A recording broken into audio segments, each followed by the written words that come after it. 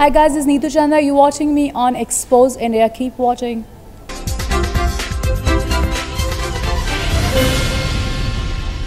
आखिर क्यों हो रही है ये धरपकड़ क्यों दबोचा जा रहा है इस युवक को आप सोच रहे होंगे कि आखिर ये माजरा क्या है तो आपको बता दें कि ये छापेमारी मेरठ के एक हुक्का बार में हो रही है जहाँ पर युवाओं को नशा परोसा जाता है जब इस बार में पुलिस ने धरपकड़ शुरू की तो हड़कंप मच गया कुछ लोग पीछे के दरवाजे से भागने लगे, लेकिन मौके पर मौजूद पुलिस ने इनकी घेराबंदी कर तीन लोगों को धर दबोचा।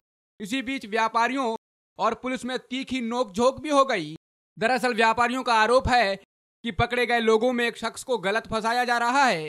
यही नहीं, व्यापारियों ने पुलिस की जीप को भी थाने नहीं ले जाने दिया। फ़िलहाल पुलिस हिरासत में लिए गए लोगों से पूछताछ कर रही है।